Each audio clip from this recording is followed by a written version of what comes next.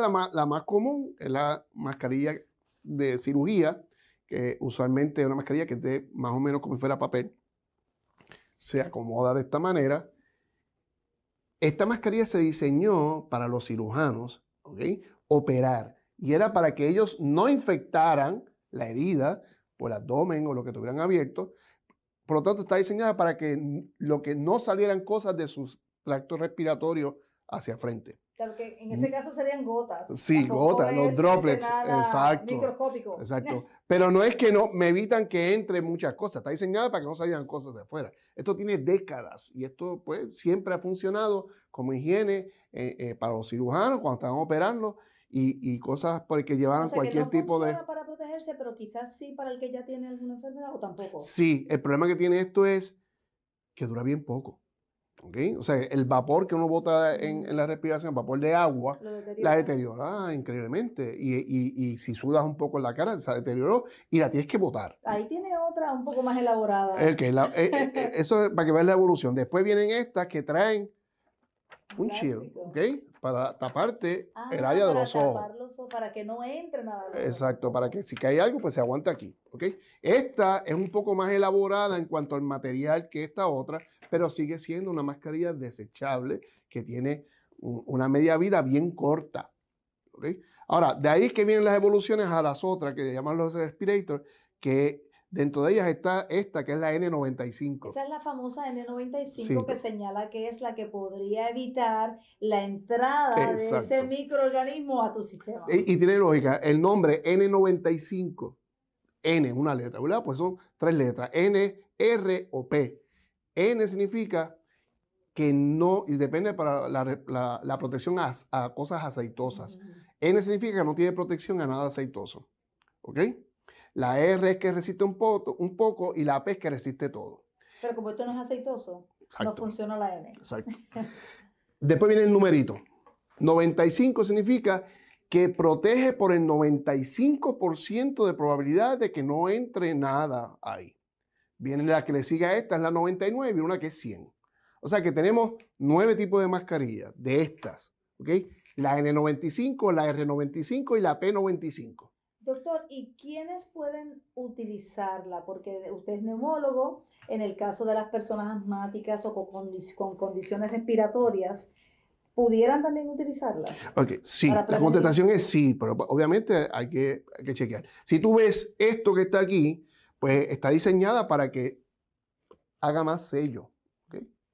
Tiene más sello alrededor. Pero tiene el ojo descubierto. Ok, tengo el ojo descubierto. Se tocó el ojo.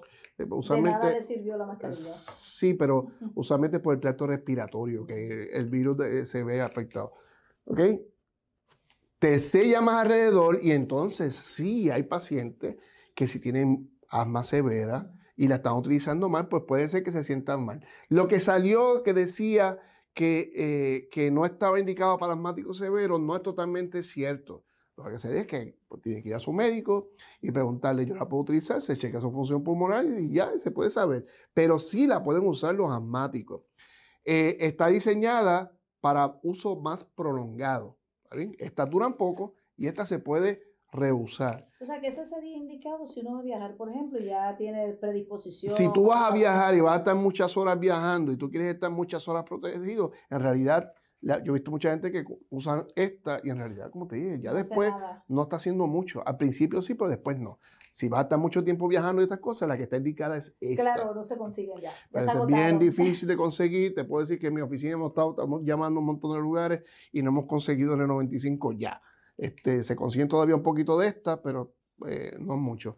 Ahora, esta, como te dije, eh, eh, filtra bien, la podemos usar los asmáticos, la puede usar la población en general y se puede reusar por un cierto tiempo, depende del manufacturero. Usualmente estas están por el manufacturero que tiene esta, se puede decir que puede durar hasta nueve horas de uso continuo. Para nosotros los profesionales de la salud, si nosotros vamos a estar en una misma área, en la misma área, ¿ok?